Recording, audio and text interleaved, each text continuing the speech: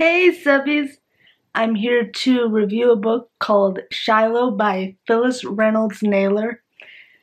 This book also has two other books with it Shiloh Season and Saving Shiloh.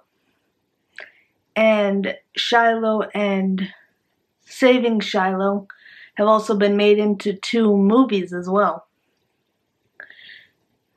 The book Shiloh starts out with Marty and his family, his mother and his father. And they all live in this really nice house that has definitely been built with lots of love and they do try to do what they can to be able to live a comfortable life. But for Marty, who's a young 12 year old boy, he wants more. And what he wants is a dog, but his parents said that they just, they don't have the time for a dog, they don't have the money for a dog, they just don't have the time in their lives for a dog. But as things tend to happen, a dog found its way into Marty and Marty's family's life. And Marty does everything he can for this dog. He keeps it hidden because he knows that the dog belongs to someone because of just how clean the dog looks, how well fed the dog looks, that this dog has to belong to somebody. And that somebody that this dog belongs to is one of the neighbors up the road named Judd Travers.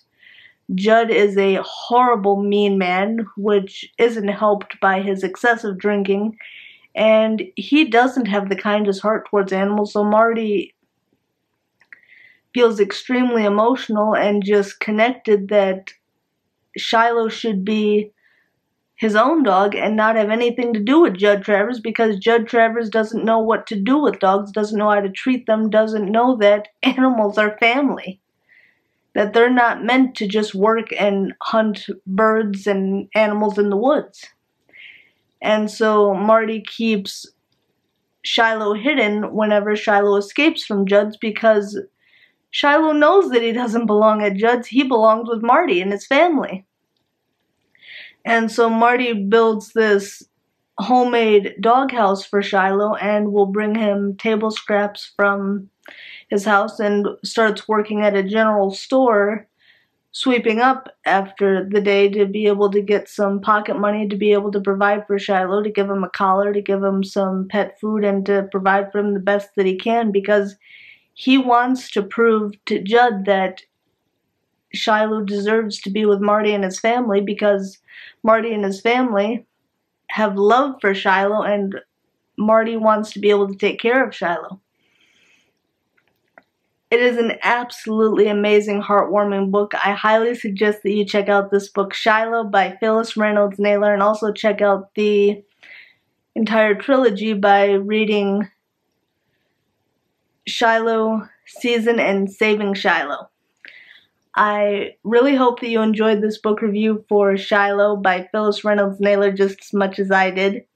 I would love it if you would give this video a thumbs up, Hit the subscribe button and click the notification bell to turn on your post notifications so you don't miss out on any of my amazing, fantastic, wonderful, fun videos that I have to share. I upload new videos every Monday, Wednesday, and Friday, and I don't want you to miss out on any of them. I would love it if you would follow me on my social media. My Instagram is Comedy Creation. I love to share library hauls, book reviews, and fantastic food photos. Be sure to also follow me on Twitter. My Twitter is Comedy Addict. I love to play hashtag games, but what I love even more is being able to interact with each and every one of you incredibly inspirational individuals. Your tweets mean the world to me, and I treasure every one of them. The newest addition to my social media is my Facebook page. My Facebook page is Papa Apple. I share my newest YouTube videos on there as well as book reviews, so be sure to give the page a like. All of my social media can be found in the description box down below and I'd love for you to follow me. I can't wait to see you in the next video, subbies. Until then, sensational smiles go for miles. Be sure to subscribe and stay a while. See you in the next video. Bye, subbies.